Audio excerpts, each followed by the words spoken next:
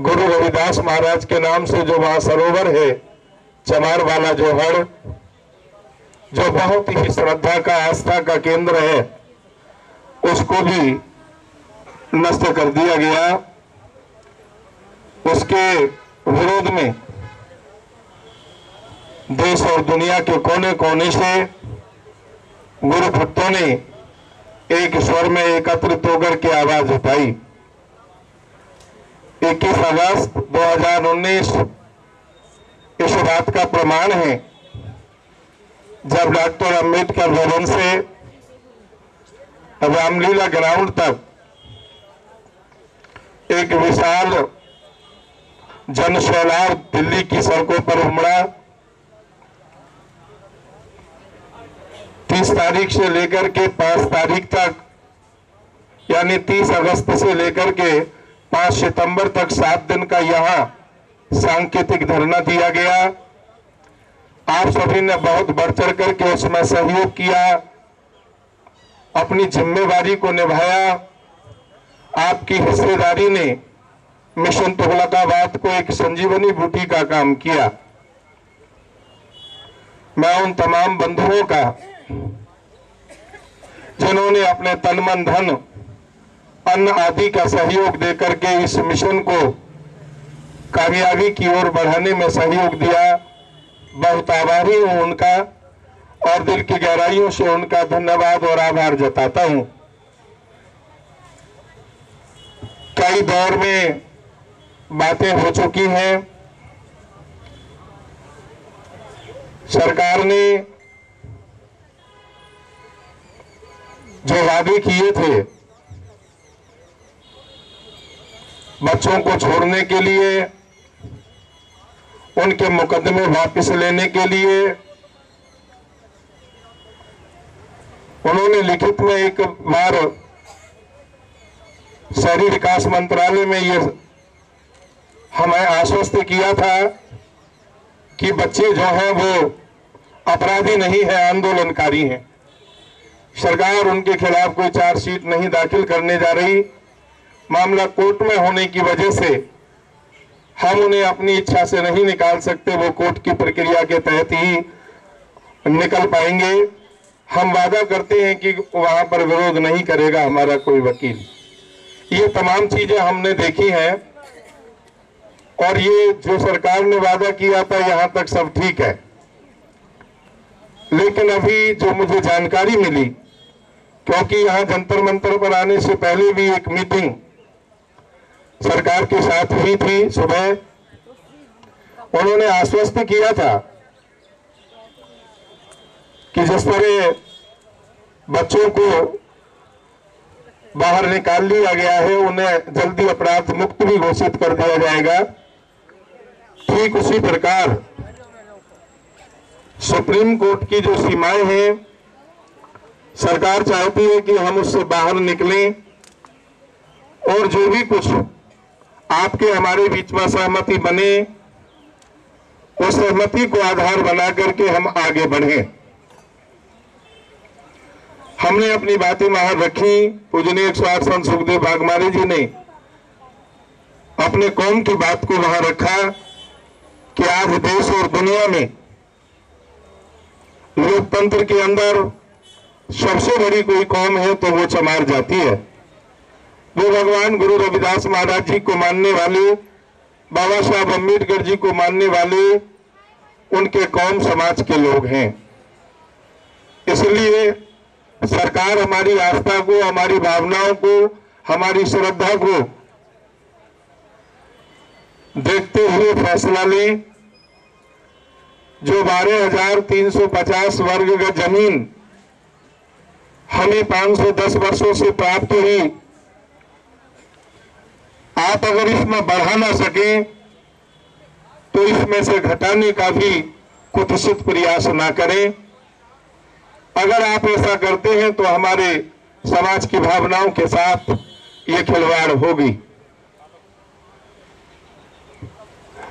बीती सत्रह तारीख में जो घटनाएँ घटित हुई थी, उनके बारे में आपको बाली जी ने विस्तार से बताया। भारती जी ने विस्तार से बताया, उन पर मैं जाना नहीं चाहता। अठारह तारीख को माननीय सुप्रीम कोर्ट ने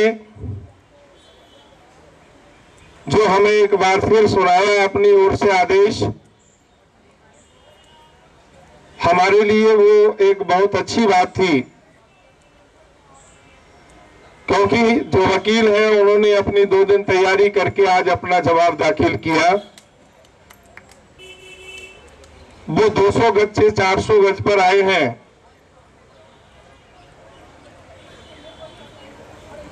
मैं यहाँ एक बात कहना चाहूँगा, अपने तमाम पत्रकार बंधुओं से भी, देश और दुनिया में गुरु रविदास मिशन के समर्पित सिपाहियों से भी मिशन तुगलकाबाद को अपना सहयोग प्रदान करने वाले गुरु जी के भक्तों से भी और इस देश में, विश्व के सबसे बड़े लोकतंत्र में सरकार चलाने वाले यहाँ के शासकों से भी और बाबा साहब के द्वारा रचे हुए संविधान के संरक्षक के रूप में जो कानून व्यवस्था का निर्वहन कर रहे हैं, उन कानून के संरक्षकों से भी मेरा हाथ जोड़कर निवेदन है। और वो निवेदन ये है कि किसी घर में अगर आग लग जाए, भगवान ना करे किसी के घर में आग लगे तो तमाम लोग अपने अपने घरों से बाल्टियाँ लेकर के, बर्तन लेकर के उस घर की ओर दौड़ पड़ते हैं, पानी लेकर, जिस घर को आग लग गई है। चाहे वो किसी के द्वारा लगाई हो, चाहे वो स्वयं लग गई हो। सरकार उसको घर बना करके देती है। उजलों को बसाने का काम सरकार की जिम्मेवारी और जवाबदेही है। लेकिन सरकार की मंशा उन चार लोगों का नाम आ जाने से स्पष्ट हो जाती है। जैसे सुरजीत कुमार, सतविंदर हीरा जी आत्माराम परमार जी और सुरेश राठौर जी। ये सरकार की थैली के चट्टे बट्टे हैं। इन्होंने अपने निहित स्वार्थों के कारण सरकार की गोद में बैठकर इस कौम के स्वाभिमान को बेचने का काम किया है। बारह हज़ार तीन सौ पचास वर्ग गज ज़मीन जो 510 वर्षों से।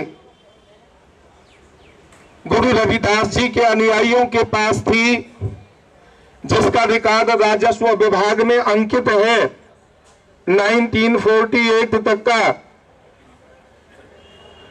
उस ज़मीन को हमसे हमारी को छीनकर, हमारे गुरु रविदास जी के प्राचीन ऐतिहासिक दरबार को तोड़कर हमारे संतों की समाधियों पर बुलडोजर चलाकर, हमारे गुरु के तालाब को नस्तनाबूद करके, बदले में हमें जो ज़मीन दी जा रही है आज सिर्फ़ इतना अंतर आया है कि वो 200 की जगह 400 मीटर कर दी गई है।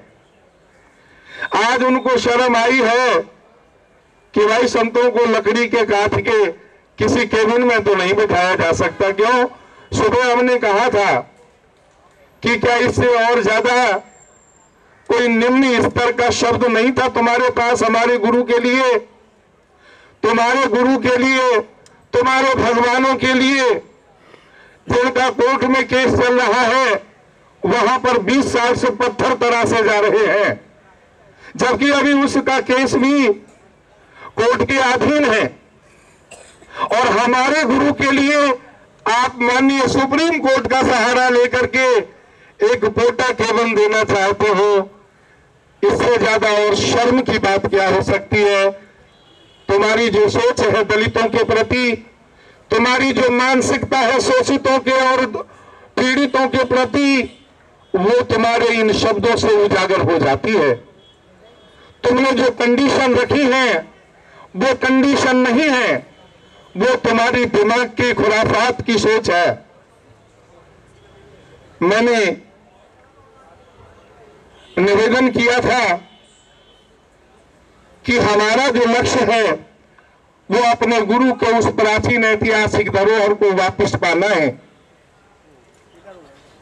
हमारा जो उद्देश्य है, मिशन तुगलकाबाद के हर सिपाही का जो उद्देश्य है, वो हमारा अपने आप में क्षेत्रों में बट जाना नहीं है।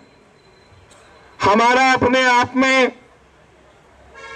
असंगठित क्षेत्र में चला जाना नहीं है, फूट में चला जाना नहीं है। हमने हमेशा उस पर्सन का आदर किया है, जिसने मिशन तुगलकाबाद को सफल बनाने के लिए सहयोग किया। हमने उनके पाँव धो धो करके पिए हैं, और हम निरंतर उनके पाँव धो करके पिएँगे जो कौम पर आई हुई इस मुसीबत को टालने में अपना सहयोग प्रदान कर रहे हैं। चाहे वो आम आदमी से लेकर के कोई खास क्यों ना हो, हमारे पत्रकार बंधुओं से लेकर के हमारे सम्मानित वकीलगण क्यों ना हो, हमारे राजनीतिक लोगों से लेकर के हमारे सामाजिक और धार्मिक संस्थाओं के सम्मानित पदाधिकारीगण और सेवादार क्यों ना हो, वो किसी भी धर्म और मज़हब से क्यों ना हो, किसी जाति और पाति से क्यों ना हो, वो किसी भी क्षेत्र और भाषा से क्यों ना हो हम उन सब के चरण धोकर के पिएँगे उनके चरणों की धूल अपने माथे पर लगाएँगे। एक ही नज़रिया से किसी व्यक्ति विशेष को देखना, मैं समझता हूँ कि कहीं ना कहीं हमारी भारी भूल हो सकती है। आखिर हम भी इंसान हैं। हमारे भी संयम और धैर्य की एक सीमा है। हमने अपने समाज की चौकीदारी को निभाने के लिए तीन महीने से रात दिन अपना सर्वस्व नौछावर करके इस दिल्ली की सड़कों पर हम केवल आपके संदेशों को घर घर तक पहुँचाने का काम कर रहे हैं। हम मिशन तुगलकाबाद की सफलता के लिए लड़ाई लड़ रहे हैं। हम अपनी चौधराहट के लिए दिल्ली नहीं आते। ना हमारा ऐसा कोई लक्ष्य है कि हमें चौधरी घोषित किया जाए। लेकिन आपके चरणों में हम ये विनती करना चाहेंगे कि आपकी चौधराहट को सुरक्षित रखने के लिए चौकीदार की ज़रूरत है। आप हमें उतना जगह तो दें। हमने आप ही की आवाज़ को आगे बढ़ाने का काम किया है। हम सोशल मीडिया पर आने वाली खबरों का ना हम उन्हें स्वीकार करते हैं, ना हम उसको किसी भी तरह से, क्योंकि लोग जो जिसके मन में आता है, आज़ाद है, वो कुछ भी बात कह सकता है। पूजने एक सौ आठ संत गुरदीप गिरी जी महाराज जी ने जो सुझाव हमें दिया कि रावण ने लंका का युद्ध हारने के बाद नाभि में जब उनको तीर लगा, वो धराशायी हो गए और राम जब उनके पास पहुँचे तो उन्होंने कहा था कि राम तुम्हारे पराक्रम से मैं नहीं हारा। मैं हारा हूँ अपनी भूल के कारण क्योंकि मैंने अपने भाई को लात मारी। मेरा भाई अगर तुम्हारे पास न गया होता तो तुम्हारी कोई ताकत नहीं थी जो तुम मुझे हरा देते। साथियों, आपको ध्यान होगा, मैंने इसी जंतर मंतर पर भगवान गुरु रविदास जी और बाबा साहब अंबेडकर जी के पावन चरणों में बैठ करके एक भजन आपको सुनाया था। वो भजन सुनाने का कोई मेरा काम मनोरंजन नहीं था। वो मेरा काम था सिर्फ़ अपनी कौम को आगाह करने का। भारत के शोषित वीरों, मेरा कहन मान लो प्यारे, तुम संगठित होकर रहना हो, दूर दरिद्र सारे।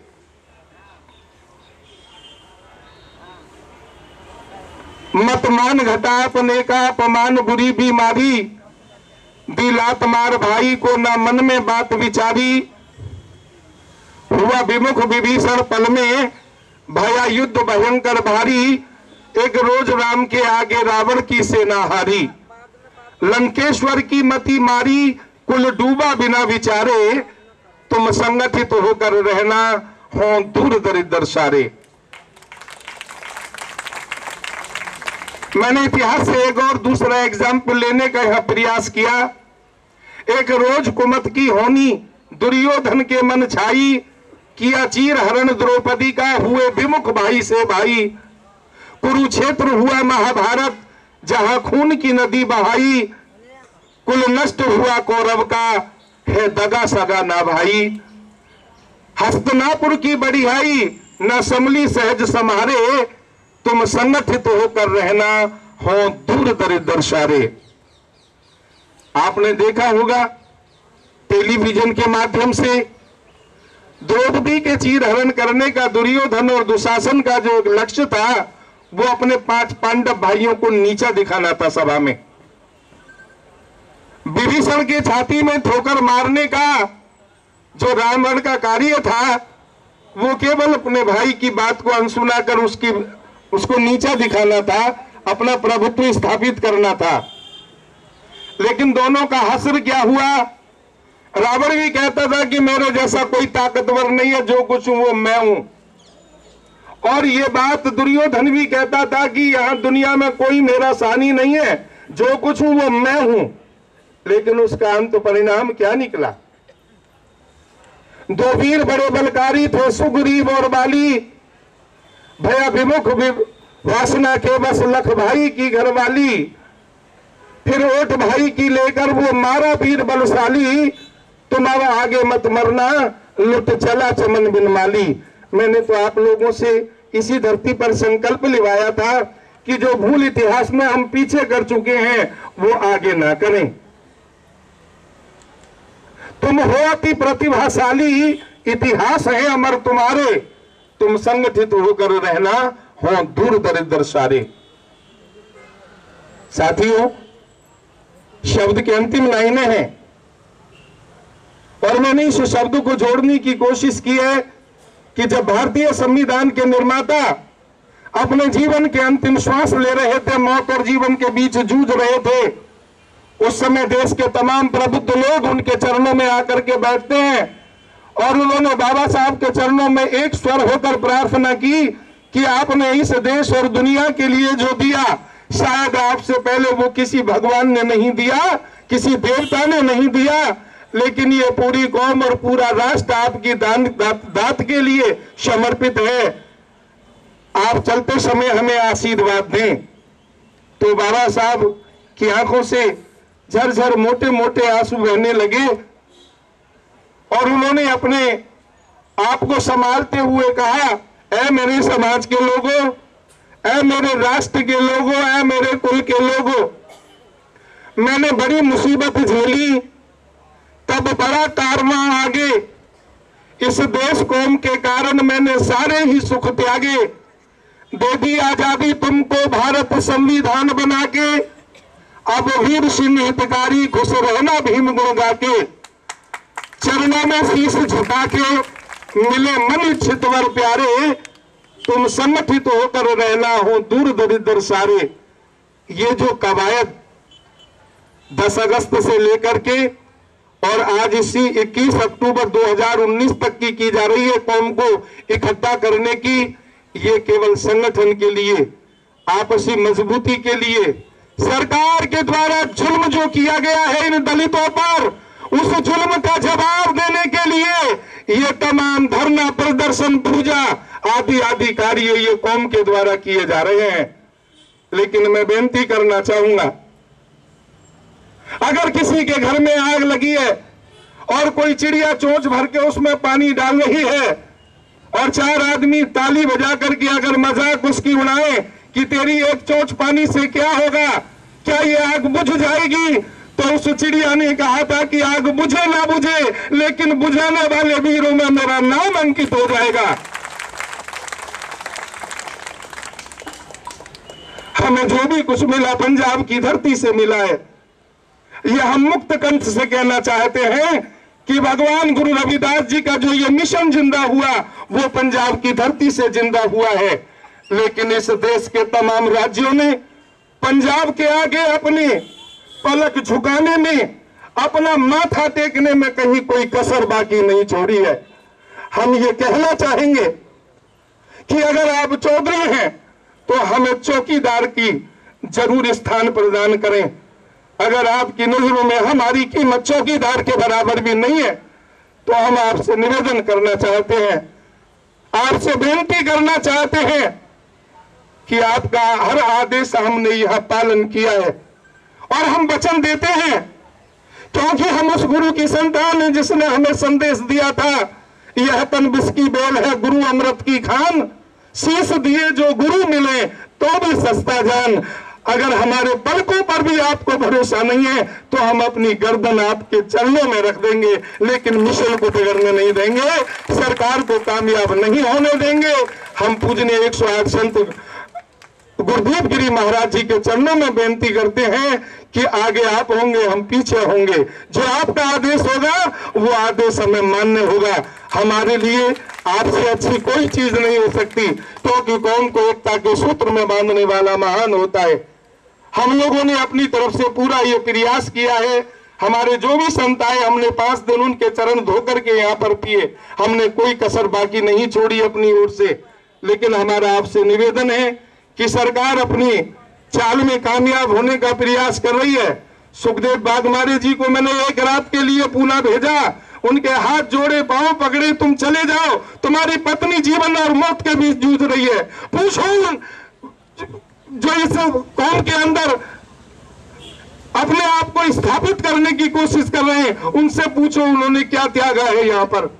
उनसे पूछो उन्होंने क्या कुर्बानियाँ दी है यहाँ पर। वेंटिलेटर पर लटक रही थी इनकी पत्नी। मैंने उनको कहा कि तुम एक रात के लिए चले जाओ। हमारे दिल पर हाथ रख करके देखें कि इस मिशन तुगलकाबाद को कामयाब बनाने के लिए, इन बहनों और भाइयों को इस ऐतिहासिक स्थल पर इकट्ठा करने के लिए हमने क्या कमी छोड़ी है? अगर हमारी ओर से कोई गलतियाँ, कोई भूल हुई है तो हम हाथ जोड़ करके आप सभी संत महापुरुषों और समाज के चरणों में माफ़ी चाहते हैं। हमारा लक्ष्य आपके आदेशों का पालन करना, देश और दुनिया में बैठे गुरु रविदास मिशन के सिपाहियों के हुक्म का पालन करना है। हमारा लक्ष्य अपने आप को स्थापित करना नहीं है। जय गुरुदेव, धन गुरुदेव, जय भीम, जय भारत, जय गुरु रविदास जी। अगर आपने अभी तक हमारा चैनल सब्सक्राइब नहीं किया है तो सब्सक्राइब करें और घंटी का बटन बिल्कुल भी दबाना ना भूलें, ताकि सभी लेटेस्ट खबरें पहुँच सकें आप पे सबसे पहले।